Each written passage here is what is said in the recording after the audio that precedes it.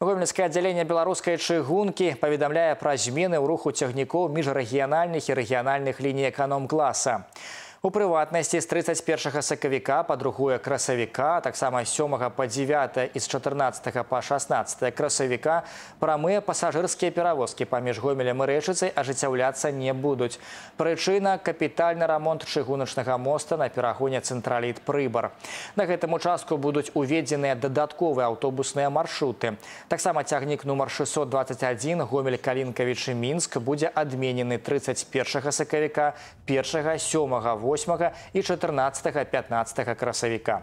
Больш падрабязную інфармацыю аб іншых зменах у раскладзе руху цягнікоў можна даведацца на афіцыйным сайце беларускай чыгункі з дапамогай афіцыйнага мабільнага дадатку БЧ мой цягнік, а таксама па адзіным нумары кантакт-цэнтра 105.